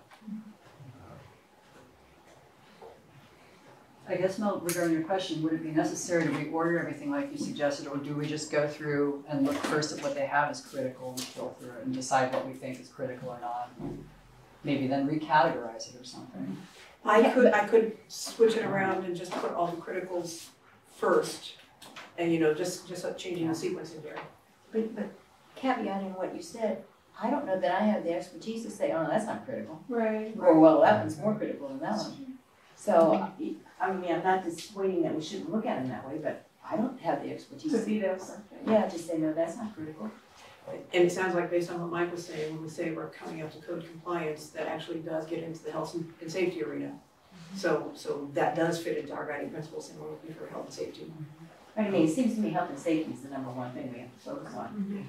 Technology, I mean, Right. we have, I mean, those things have to be the first things we're gonna address. Now, do I know which one is critical, which one is a priority? Not really. But they've, um, if we look at this one, and we're on the HVAC list, just because that's where, um, Denver sent me. The first thing up there is the lack of a sprinkler system. Right. Um, Again, looking at Mike and or Terry, uh, how critical is it that we don't have a sprinkler system today? I, I'm gonna defer, defer to the architect, but if I'm charged with the safety of uh, students and adults in the building, in my mind, it's critical. And, and all of this, there are so many safety regulations that are just rolling out, um, for schools from the state. It's almost hard to keep up, but, you know, he can speak to the actual See, here's, yeah, and here's the problem with sprinkler systems is, is it starts a cascading effect. So if I'm gonna run down, if I'm gonna replace sprinkler piping in all the classrooms, well, I'm gonna be replacing the ceiling. And if I'm gonna replace the ceilings and I'm gonna replace the lighting, and now all of a sudden I don't mean to be Debbie Downer, but now all of a sudden that three hundred thousand dollar sprinkler line item is actually a two, a two million dollar ceiling, um, light, and then it's like, well, if I'm replacing the ceiling, shouldn't we be addressing HVAC at the same time, because my ceilings are now, you see what it kind of Probably. cascades, so. Yeah. So I say sprinkler is, uh, is kind of a maybe. It's a maybe, depending on if it, if it forces you down a path that opens up re- spending dollars on non-critical items. That's where it gets a little tricky. So it sounds to me, and this sounds, you know, sort of god awful to me too, but it sounds to me like with our level of expertise sitting around this table, we need Mike and Terry sitting at the table with us. Um, and we need to go through these one at a time to really understand. It's not like we can do this sitting at home in our, at our homes and say, I think this one is more important than that one. I, I think we actually have to go through these and say, what do we think? Discuss. Just discuss. Well, even at another level, perhaps we should have someone with expertise, whether it's Mike or Terry or, uh, Con, what is it, Con, Craig. Prioritize it that way. I mean, you list all the critical ones, and then someone with the expertise says, yeah, this one's more critical than that. I mean, Can I ask a quick question to Yeah. TJ? TJ, how do you go, how, so the superintendent and school board prioritize projects based on what criteria? Well, really, it's been, um, the superintendent working with the maintenance and then working with the treasurer. Um, you know, as a team, kind of get together and, and decide, hey, this is the next big thing. This is when we can pay for it. Um, this is what's critical, this is what's not. I mean, we probably would have to bring in Craig and, and Right. Mario, and if you've had, Terry, you've had discussion with Mario about how they're doing that specifically, to answer it fully, but then they bring it to the board if the expense is above a certain level. right? I guess it's, like about thirty-five or fifty K that the board has to approve, but Mario would always tell us about any expenses coming up, you know, even on the order of a couple thousand, just to. Just so- a heads up. Yeah, just a heads up, like, this is gonna happen, this is, I just want everybody to, to be aware, like, okay, thanks for heads up, and if it's a certain dollar amount, we have to actually, uh, approve it, and Yeah, I would request if we could get the maintenance plan and, and that, that would be helpful. That's, Good idea. that's the part Yeah. that's missing right now. Yeah, I got that Because as you said, like, maybe even. everybody's commenting the fact that there's no It would be maintenance delightful plan. if Craig could come, and there is. There is one, Yeah. yeah. It would be delightful if Craig could come. Yeah. Sure, they have to. I, I, I wrote that down. Okay, great. Well, somebody said we might want to delegate the assessment of all these things to Terry and Craig and Mike. I, I don't know if, if that makes sense or if we, if it makes sense for us all to really understand. Because if we delegate it to them, then how do we understand what their thinking was as they were doing that? Can we be a part of that discussion? That's what I was thinking, you know, Yeah. with, What I about think, the technology guy? Do you need to bring Tom? Yeah, I think you, we, we can bring in Tom, and, and I guess, I think what would be helpful is, and so if I'm gonna recommend something a- about technology, I, I need to provide some context too. Mhm. So again, I'm gonna go back to that example. This talk about do we need, you know, this high speed, but it's more than that, and I think when we think technology, we think classroom. But all of the district's financial data runs across the lines, and there have been so many recent um, security issues with that. Oh, yeah. With companies and Yeah. schools, and so all of these things should be looked at in terms of, is this a priority? Or if we're talking about just, you know, a projector and a screen in a classroom, most people would say no. But if we're talking about communication of very sensitive, um, financial and other data, then maybe, yes, it does rise to the level of, of critical concern. So I think whether it's about technology or the maintenance plan, any, any type of context we bring to um, discussions. discussions and, and what we may or may not be recommending, I think that's always helpful. Terry, as you say that, it reminds me that one of my concerns with the Fanning Howey um, assessment was that it looked solely at the building and it didn't really listen to teacher needs. So for example, I got so much information from that teacher focus group, Desiree, and I got so much information from the student focus groups that weren't reflected in what the assessment was. But was it reflected in the educational assessment? Wasn't really in the educational assessment either. Wasn't really, it was talking about some specific classroom needs and things. So, so it's like there's another level of things in addition to, so back to the context, back to the context. So, um, so you said you're not gonna be here July third. Um, I, I can, I can be here, I'm going out of town, but I can just as easily be from here, so. Oh, okay. Can we, you guys check with Thomas and Craig and see if they can be here July third? Because I think, I think having, having all of us Sure. sitting around the table, Thomas, And, too, and, so and Thomas if, can- if they cannot, then the next meeting, or? then yeah, you've got the list of meetings there, Terry. Not till July seventeenth. And right now, we, we really don't have much of anything in August because, um, we have August twenty-first, August seventh, there were lots of people who were missing, August fourteenth, I'm the one who's missing. Um, and, um, then August twenty-first is the event before school, and Terry agreed that we should cancel that one, so we wouldn't have a meeting again until August twenty-eighth, which seems to me a long time. I, I was also thinking, um, if we got through this and we're ready to have community meetings, maybe August would be a good time to have community meetings, but I'm not sure we're gonna get through all this in time to have community meetings in August. Is it possible to do a different day for Yes, but I I think I'm gonna send, send an email out to people and see if we can get another date in August. We do at least have three in July, seventeenth, thirty-first, so that's helpful. Okay.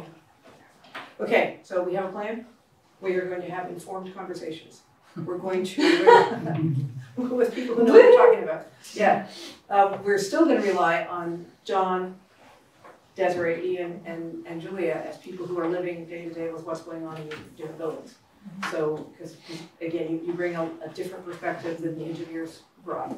So we, you are part of those informed voices that we, others sitting around the table, are collecting data points from. Mm-hmm. Um, one thing I really like what we just did by bringing Mr. Roach in, um, was that the maintenance idea was a very important idea that was expressed in the community objections to the levy. Over and over again. There are some other ideas that people who, you know, voted against the levy raised, like one would be collaborating with area institutions, like with Antioch, for instance. Um, I think we use their tennis courts for the tennis Yeah. team, and, um, we have used the theater, and, and, but we don't pay the theater, I don't think, uh, to use the theater, and, uh, you know, just, if we're gonna establish, I, I think a community value is to collaborate with other institutions, so maybe that's worth some discussion sometime as well. Um, and I think there are other ideas, um, sustainability, the environmental, um, uh, other kinds of objections that people have, um, recycling, um, This makes me think it's time to pull up the notes from.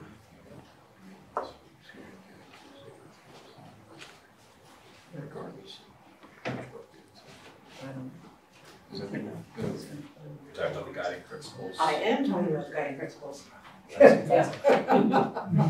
So, can, uh, just Absolutely. to clarify, Mel, that when we can get this, uh, maintenance folks in, our goal is gonna go, be go, uh, line by item, or line by line through the Excel spreadsheet, And understand, regardless of what category it's in, and just say, hey, that this is what we're this is talking an about. immediate need due to maybe a, a maintenance issue that's not a safety issue, but something we have to address in the next three years, let's say. I mean, is that kind of what our criteria is, uh, one to three years, and then, and then we have safety issues as well. And then, and we're trying to get to a point where, Well, we have a good understanding of what the biggest problems are that we need to have money to address. immediately. Didn't you also wanna know and understand how they're doing it now, how they're Yeah, yeah. assessing, And what, prioritizing, what you already bidding have, out uh, on scheduled, contracts and what's scheduled? maybe what's Yeah. scheduled, Yeah. yes, absolutely. And- and what has been done in the past. Yeah. We should get this report long before the meeting, so. Yes. It'd be great to talk to it. Yeah. Um, I thought I lost it, I'm sorry. But yeah, that's, what- we wanna get that understanding and, and get their perspective also on, do they agree with something as a one to three year versus a, um, uh, they might identify things that are further out, they might identify things that they, depending how I said further out, they need to be done more quickly. I know what I was gonna say. We need to understand that past maintenance because that was a huge issue. I've heard that over and over again. The past maintenance, about the, the fact that there's been insufficient maintenance, or I should say, the perception that there has been insufficient maintenance. If we have the history of the maintenance that has been done, we can do some education on that as well. Okay, so I had included in here, um, what came up in the different groups. And then I combined them, trying to categorize them together to say where we had overlaps and so on. And then I developed a draft for your improvement. Whoops. So my first thought on this is I think these guiding principles are really important. I felt like they need to be prioritized, because I think right now it's just a list. Um, and then the question to me was, well, do we wanna do like a, a weighted voting to try to decide on that? Or is that something we put out as a, a survey to the community to find out, you know, what is the priority of the community on these issues, right? So maybe I, maybe not exactly these seven, but that was my thought is, is that was us in a room spending about twenty minutes coming up with what we thought was important. Um, No deep dives. No deep dives, but also like, are, are we the ones making that decision or is that something, if we have a simple, you know, I mean, we did surveys before on past information, could we provide some kind of get data from the community on where do these rack and stack, um, in in importance, like, is affordability the most important? Is, you know, ongoing community engagement, you know, where do those fit? I took a stab at it, but I mean, I don't think that I'm, I'm not sure I or this group are the ones who should be making that, that decision, or if that's even necessary with the way we're progressing. Do you think the community would do another survey monkey at this point, or maybe this is something we take to the focus groups? But I, I, I agree with what you're saying, we're not the ones to decide this, but to pull it up and, and see what people see, think about it. One thing we could do, since you're talking about priorities amongst our group, I could certainly do a survey amongst our group to have people rank these and identify what we think it is. But I think your point about when we go to the community and start talking about how we came up with whatever our, our list of problems is, we say these are the guiding principles that we chose, that we followed in coming up with these. And, um, use that as an opportunity to ask the community to weigh in, are they the right guiding principles? Do you, you know, who prioritize health and safety as the number one, do they think affordability is more important than health and safety, we can get that input. Because ultimately, as we go forward, we still have more decisions to make. Um, So, so getting their input at that point in time certainly could be useful. The first couple meetings, I would think for sure. Does that make sense to you guys? So from a starting point, are- do those seven make sense to you? And say we did a good job coming up that list. I guess I, I kind of reached, I looked at it and I, I was a little bit confused as to space conducive to learning and design for twenty-first century skills, those seem to kind of blend together a little bit. Um, I I had kind of. Because getting fewer is better than. Right. That's, Um, I mean, I kind of, I, I had it broken down into health, safety, and security, which is what you have in number two, and I think I put safe environment, uh, I'm trying, to- there some things here, uh, pet, pests and hazmat, air quality and HVAC, proper plumbing, building security, entry and cameras, so that's security, and then the last one was fire and tornado, you know, because we didn't, tornado was a big thing we talked about, and we hadn't captured it there. Um, because I think those, I think that's a, number two is a really good category, I think there were some things from different places that could fit you could add into that. Um, the second one I had was the maintenance sustainment plan, which we talked a lot about today. Um, kind of built into whatever plan we have, that's really critical. Um, affordability, the same sub-bullet you have there.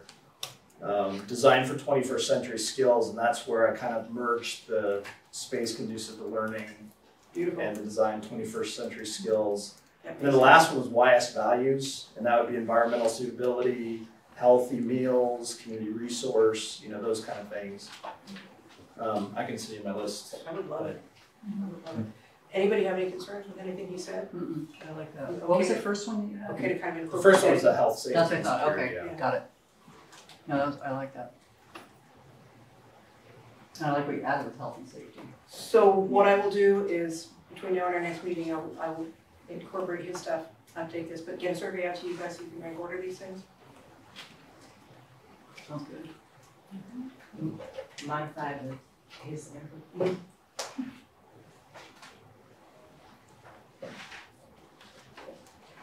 guys are cool. Okay. Um, can we take a quick look at this proposal flow of our work on the back page of the agenda? Lori challenged me.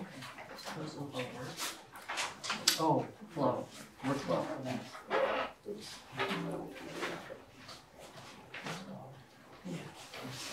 We are actively in the middle of figuring out what we understand and what we don't understand. As people said, you know, multiple data points are helping us get a richer understanding of what we need to do. Um, but I thought, once we figure that out, then we are also sort of, one and two are sort of working together. We'll be looking at our perspective on the priorities in terms of which, you know, health and safety comes first and, and whatever else. So we can go back to the community and say, here are the biggest problems that we need attention today. Here's what has been done in maintenance, here's what is being done in maintenance, so we put that story in there as well, so it's not done in isolation that we're coming in with a silver bullet that the school board wasn't ever thinking of. Um, And the, number three is prepare for the community meetings. I really think we have to, since we're not all gonna be at all community meetings, that's impossible for us. We have to be as totally consistent as we possibly can in what we say and how we say it, and in how we collect the information from people. And I think we're all agreed that we, this is not a one-way street, this is a two-way street. We're gonna tell them, here's our best understanding, but we need to hear from you. So, um, that, that's why we are going to take time to prepare. We're not gonna end up with, here's our list of, of recommended problems, go forth and talk. We are gonna prepare, so not quite scripted out, but absolutely consistent when we talk to the community and listen to the community. Is there any thought of having any uh, proposals at that point? Two, three, four, three options? Well, you know, what. Before talking to the community, I mean, we, in as this Mike said, we had, I don't know how many meetings we had before the levy. There's a stack of letters. Uh, We've done another survey. Well, I- I this is why I wanted to discuss the flow, because in this flow, Oh. we're, we're, we're having two sets of engagements with the community. One is to just get their understanding of the problems, or share our understanding of the problems and get their agreement that those are the right problems to solve. Then we need to come back and say, so what are our solutions to those? And that's when we would have proposals. Sure, okay. So listen first L- l- Listen, you know, if, if we think ABC is the number one priority, our number one priority in terms of problems to solve, and people come back and say, no, it's not, then there's no sense us putting a solution together for it. If we think something is a number five priority and they say, wait a minute, that's the most important thing to do, we better have a solution for it. So that's why I'm thinking it's a two-part community engagement process. One is the, the understanding of the problem and the second is the understanding of the solution. So after we have the public meetings, we have to figure out, so what did we hear? Um, as we saw in the survey, we had people who said, the only thing I was mad about in the proposal was it didn't go far enough and tear all the buildings down. To people who said, you know, you guys are absolutely bonkers to think we could spend that much money. So, so we are going to have disparate, disparate perspectives coming back. So we have to sort through this and kind of figure out, so what do we, you know, what did we hear the most of? And, and again, one of the reasons why I wanna make sure we're prepared, we can't, we can't misunderstand the loudest voice with the most Right. voices. The majority. The majority, mm-hmm. because it's too easy, one person can easily dominate things and all of a sudden you don't Right. hear anything. And so you have twenty people in the room, and one person thought one thing, nineteen people thought something else, but you never heard from the nineteen. Are we So- gonna have a moderator for those, or are you gonna do it? I'm sure somebody's gonna moderate. I, I will be at as many as I can, Yeah. I have to talk to these guys about, you know, my contract, because we're already way, way bigger than, than when Mario and I had initially discussed it back in December. Um, But it- I, I would, I, I think it would be- be beneficial if I were at as many, cause at least that's mm-hmm. also one common, mm-hmm. one common Right. ear, mm-hmm. yeah. Um, so anyway, so first round of community conversations, understanding the problem, getting their perspective on what they think is important. We come back, we distill what we hear, then we start working on solutions. So if this is the problem, what we think is the best way to go? Clearly, we heard from David, there are lots of ways to go. You know, there's not one, one, um, solution, so that's why we still have conversations about what the solutions are. Then again, we're gonna do preparation. When we have our, our packages of solutions, packages of possibilities, you know, one year, two year, three year, whatever it turns out to be, because I have no idea at this point in time. We go back and share it with the community and say, is this making sense to you? Is this, you know, what in here would you support? Is there anything in here you would not support? And we come back and distill what we heard, and then we can make a recommendation to the board about how to go forward. So that's my current thinking on how this will go overall. Do you have questions or improvements? And at this point in time, I certainly want to open it up to Terry and TJ, since you will be the consumers of this ultimate thing.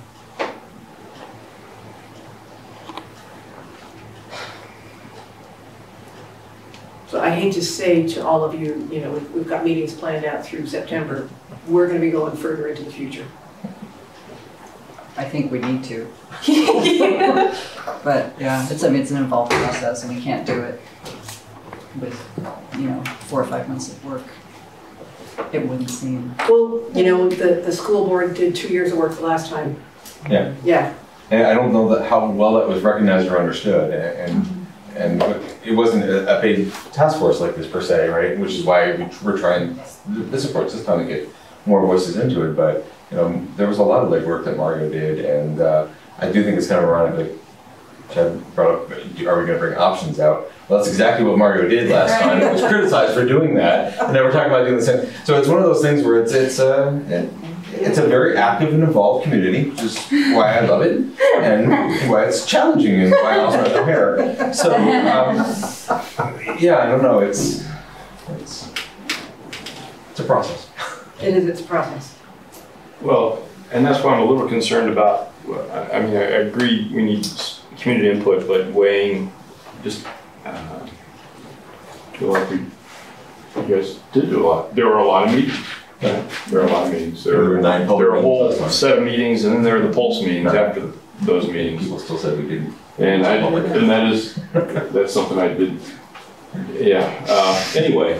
So now I feel like there has been some input, like, and if we can gather, and we try to gather that, I just worry that, uh, what are we gonna get and how much additional information are we gonna gather and the, the validity of that sample size, I guess, uh, from these, these, these, uh, community input meetings.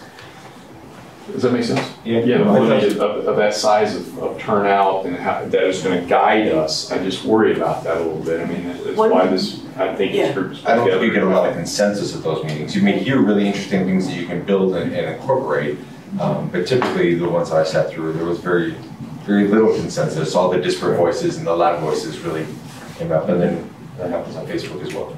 Well, the, the, one of the things that, that we are, had talked about doing differently was not necessarily just holding a public meeting, you know, here's a community pulse meeting, but actually going out to different groups. And for example, John had provided us with a long list of different groups. Yeah, I, I think outreach is critical to us. Yeah. We can't expect them to come to us. Right. I think we have to be proactive. Kat and We I talked to. about this, we have to impose, not our will, but we have to impose our visibility with those constituents that will not come to us. Mm-hmm. And so that's gonna take a little bit We have of to plan grassroots that. work. Yeah, we're gonna, I mean, that's definitely down the road. And That's a really interesting phrase, John, I really like that. Not our will, but our visibility. Yeah. Yeah. That's, so that's one thing, Chad, is, is a- a little bit differently. And, and because of the size of our group, we have the ability to do that, where the smaller group didn't really have that ability to do it. And the diversity of our group, you know, we have young people who can help us reach young people. Um, eh, So, so we have the opportunity. And I share your concern, because I, I read through those, you know, I read through those survey results word for word for word, so I could do that analysis. And, um, and it was, it was hard to read, um, um, many times, because there, there was just, a- there still remained a lot of animosity and, and, and the, the diametrically opposed views. Yeah, We, we have to start with this understanding, whatever our solution is, we are, it's impossible for us to satisfy everyone. Right. But there, um, not so much the survey, I found it was instructive, but, um, I spent some time reading the letters to the editor, both pro and con, and there are actually a lot of really good ideas that are shared, and I, I felt like the vast majority of the people who are against the levy actually had some really good concrete reasons, and, uh, originally, I don't think we ever presented an option that was renovation. The- Wasn't the option, all of them just new buildings? No, it's, So you yeah. did have a renovation option. in fact, the final plan was, was more renovation than Oh, right, buildings. And- right. And, and that's, But it was all high school then, right? It Or high was. school, middle school? And, and so that's sort of the, the frustration I had in that process is that people, even today, still don't seem to understand, you know, what, what it was. And, and I don't even know how to best communicate that because I felt like I communicated it over and over and over again.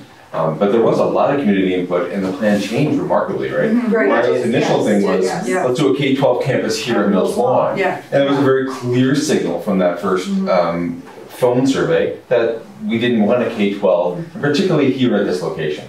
And so then the plan changed and there was the idea, maybe we do a K twelve out there.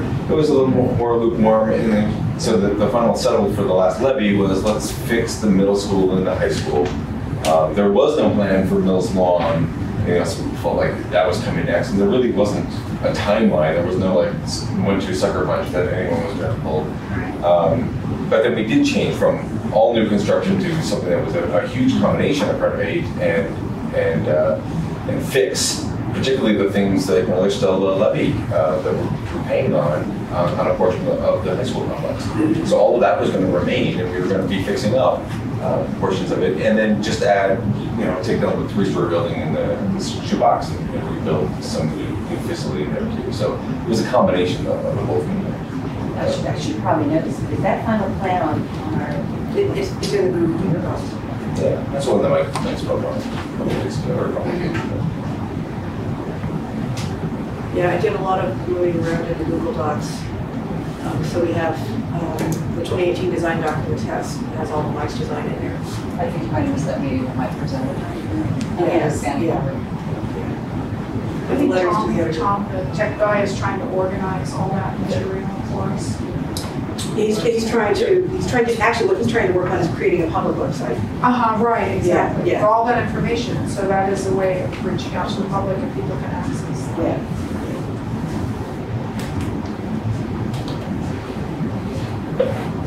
Okay, anything else tonight? We certainly would have of input from our, our uh, ad advisors here. Next meeting is July 3rd. Um, We will have Mike, Terry, if possible, Craig and Thomas, so we can start really understanding their perspective. Prior to that, uh, TJ, you can get that maintenance information to us. that would be fabulous. Sure, yeah, I'll- I, I swear I had it. Uh, Yeah. Any questions, anybody? Thank y'all. Good stuff. You can just give me another one later. Oh, okay, all right. Because I think it's kind of a little larger. You know, um, Carlos came in over there, so I think he allowed my name to be off. Kids start by like